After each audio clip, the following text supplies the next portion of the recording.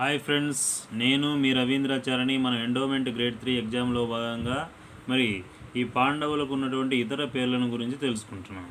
మనం ఆల్రెడీ ఇంత ముందు క్లాసులో ధర్మరాజు అదేవిధంగా భీముడు అదేవిధంగా అర్జునునికి ఉన్నటువంటి ఇతర పేర్లను గురించి తెలుసుకున్నాం. మరి ఈ క్లాస్లో మనం నకులుడు గురించి ఆయనకున్నటువంటి వివిధ రకాల పేర్లను గురించి ఈ క్లాస్లో తెలుసుకోబోతున్నాం.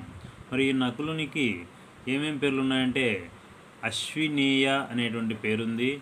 అదేవిధంగా ఈయనకు వచ్చేసి మరొక పేరు ఏంటంటే ఆయుర్వేదాచార్య అనేటువంటి పేరుంది.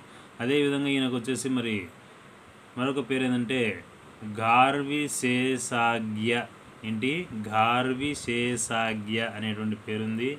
తర్వాత ఈయనకు గ్రాంతిక్ ఏంటి? గ్రాంతిక్ అనేటువంటి మరొక పేరు కూడా ఉంది. అదేవిధంగా ఈయనకు ఉన్నటువంటి మరొక పేరు ఏంటంటే జై సేన్.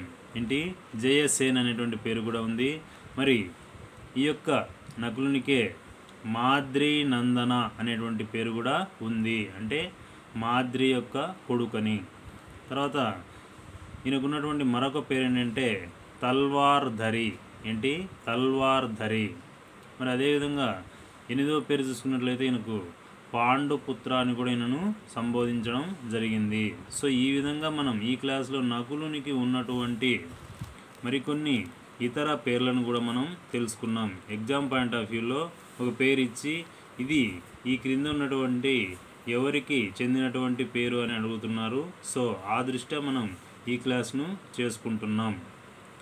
మరి మనకు తెలుసు పాండవుల్లో మరి ధర్మరాజు తర్వాత భీముడు ఆ తర్వాత వచ్చేసి అర్జునుడు. వీళ్ళ ముగ్గురు కూడా కుంతీ దేవికి మరియు పాండరాజుకు జన్మించిన వాళ్ళు.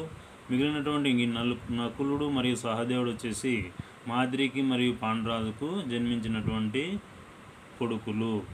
ఓకే ఫ్రెండ్స్ మరి మన వీడియో నచ్చితే లైక్ చేయండి షేర్ చేయండి సబ్స్క్రైబ్ చేసుకోండి. ఓం నమ శివాయ.